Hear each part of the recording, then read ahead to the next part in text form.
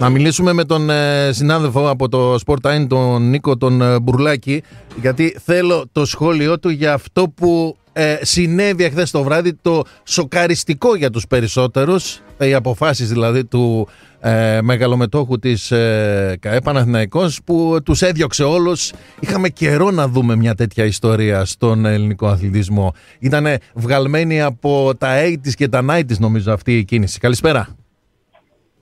Καλησπέρα, ευχαριστώ πολύ για την πρόσκληση. Είναι έτσι. Ε, ο χαρακτηρισμός είναι σοκαριστικός, δεν, δεν, δεν Ναι. υπάρχει κάτι άλλο. Είναι, είναι, ναι, είναι. Ε, δε- δηλαδή, δεν μιλάμε για... Νομίζω ότι η λέξη ηλεκτροσόκ α, δεν είναι ακριβής καταρχήν. Είναι ακριβής. Ναι. Εδώ δεν μιλάμε για ηλεκτροσόκ, εδώ μιλάμε για... Όντως, για μια κατάσταση η οποία είναι σοκ. Δεν είναι το οποίο ε, το συναντάμε συχνά.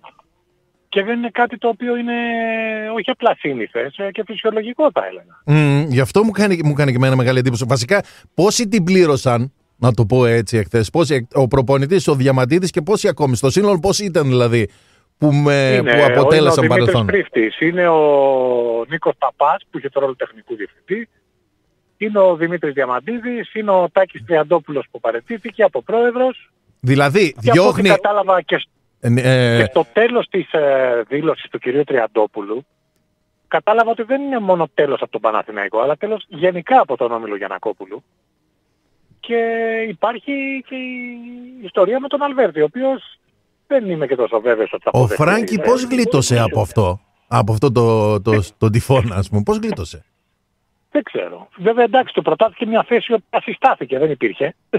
Γενικός αρχηγός δεν ξέρω πόσα χρόνια έχω να το ακούσω στην...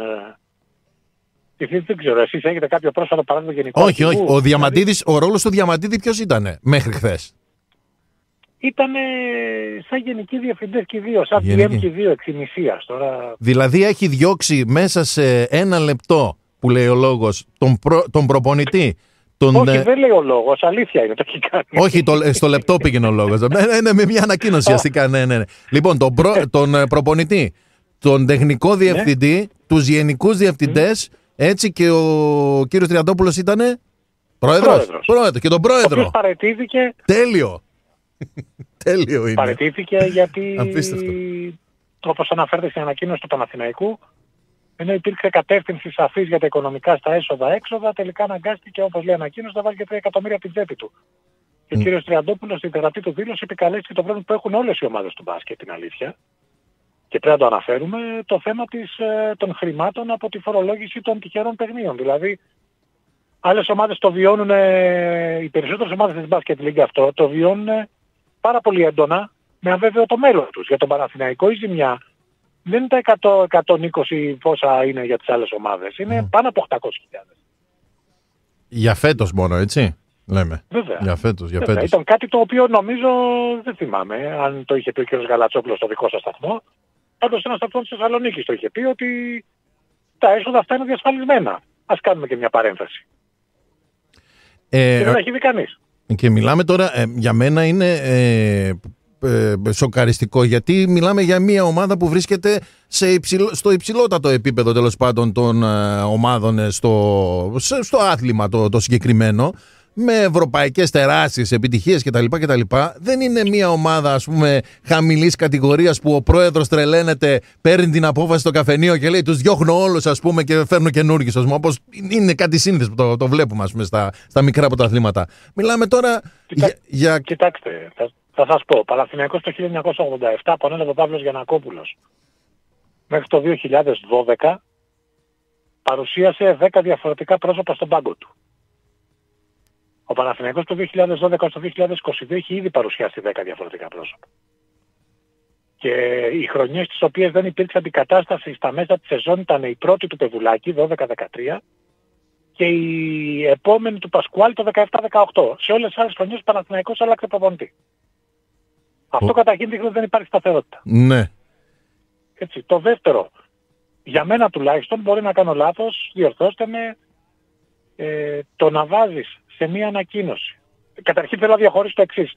Καταλαβαίνω ότι ορισμένοι αγγίζουν το θέμα πάρα πολύ συναισθηματικά. Γιατί ο Διαμαντίδης είναι ξεχωριστός για τον Παναθηναϊκό. Φυσικά δεν είναι κάτι, ε, πώς το λένε, ε, κάτι απλό. είναι κάτι πολύ μεγάλο για τον Παναθηναϊκό. Είναι συμβολικό. Μμμ. Κάποιοι το αγγίζουν αισθηματικά. Εγώ θα πω το εξής, ότι δεν είναι απαραίτητο ότι όταν είσαι μεγάλος παίκτης θα γίνεις μεγάλος προπονητής, μεγάλος παράγοντας. Εγώ λοιπόν μπορώ να δεχτώ ότι ο Διαμαντίδης ήταν αναποτελεσματικός για αυτό που το ανατέθηκε. Πάρα πολύ ωραία. Νομίζω ότι δεν είναι σωστό για τον Παναθηναϊκό να βάζει στην ίδια ανακοίνωση, στην ίδια πρόταση Διαμαντίδης πριν τη Τριαντόπουλος Παπάς. Το θεωρώ λάθος. Ο Διαμαντίδης έπρεπε να είναι μια ανακοίνωση μόνος του. Ναι. Τελείωσε. Μμμ. Έτσι νομίζω τουλάχιστον. Δεν ξέρω αν Μμμ. διαφωνείτε μαζί μου. Όχι, δεν διαφωνώ. Νομίζω Δεν ότι ο διαφωνώ. Διαμαντίδης έπρεπε να είναι μια ανακοίνωση μόνος του. Είναι επί σειρά ετών αρχηγός του Παναθηναϊκού.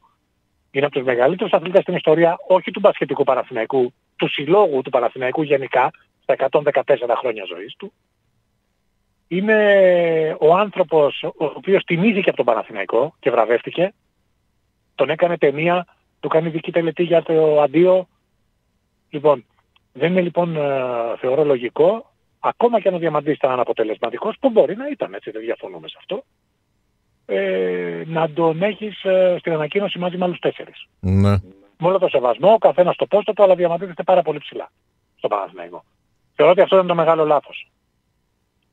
Έτσι. Ε, επίσης ένα ακόμα μεγάλο λάθος μάλλον. Όχι το μεγάλο.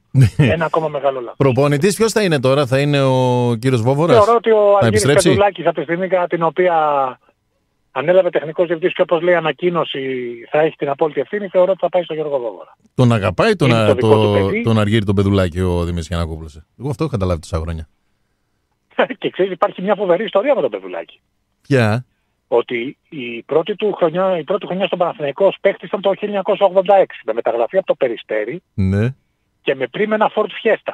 Λοιπόν, Με το αριστερό 1990. σούταρε τις βόλες τότε ή με το δεξί; Είχε πάρει την απόφαση να τα το 86 νομίζω σου ήταν με το δεξί ακόμα.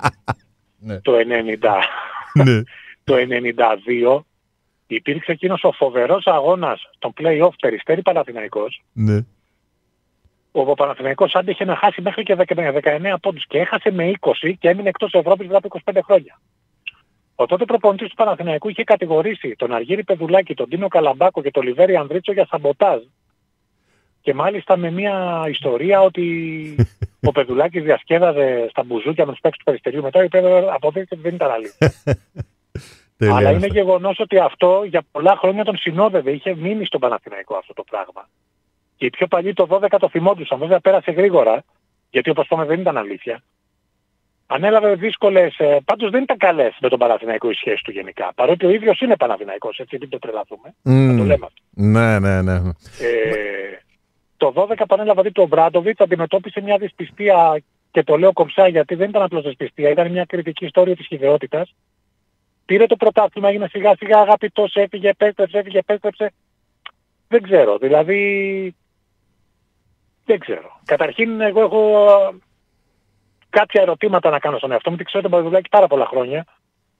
Πεδουλάκης σε ένα τεχνικού διευθυντής, δηλαδή τι, εγώ καταρχήν τον Πε- Πεδουλάκη έτσι όπως τον ξέρω, δηλαδή να τον βάλει φόρμα να μπει να κάνει προπόνηση. δηλαδή δεν, δεν μπορώ να το δεχτώ τον Πεδουλάκη, δεν μπορώ να έχω αυτή την εικόνα στο μυαλό μου. Εκτός αν ο ίδιος πλέον έχει αποφασίσει να αποσυρθεί. Αλλά ο Πεδουλάκης παίρνει ότι βλέπει γήπεδο και γυαλίζει το μάτι του. Να τελειώσει. Τι να πω. Φέτος ήταν, ήταν προπονητή κάπου, ο Πεδουλάκης. Κάπου ήταν, δεν ήταν. Όχι, πέρυσι έφυγε από το Περιστέρι και ανέλαβε ο Μανολόπουλος. Α, τη σεζόν αυτή δεν έχει προπονήσει Όχι. ομάδα στην, ε, ούτε στην Ελλάδα ούτε έξω; Όχι, ε. Πώς τον είχα εγώ σε κάποια ομάδα; Μάλιστα.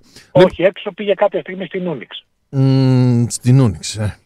Ε, Νίκο, σε ευχαριστώ πάρα πολύ για τη Εγώ σε συζήτηση. ευχαριστώ Να είσαι για την καλά. πολυλογία μου. Να είσαι καλά. τέλειο ήταν. Τέλειο, τέλειο, τέλειο.